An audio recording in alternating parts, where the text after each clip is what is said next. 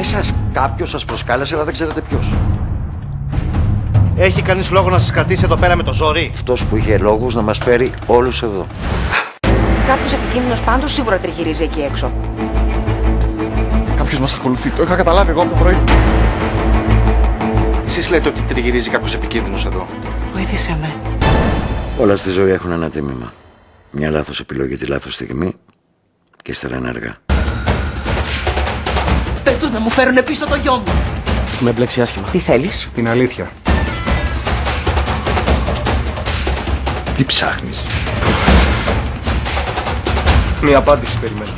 Θα αναγκαστείς να τη δώσεις όσους καιρός και αν περάσει. Δεν βιάζομαι. Μήπως ήρθε η ώρα να ξεκαθαρίζει ένας ένας στη θέση του. Η εκδρομή. Πρεμιέρα. Τετάρτη 15 Οκτωβρίου στις 10 και 4 το βράδυ στο νέο πρόγραμμα του Αντένα.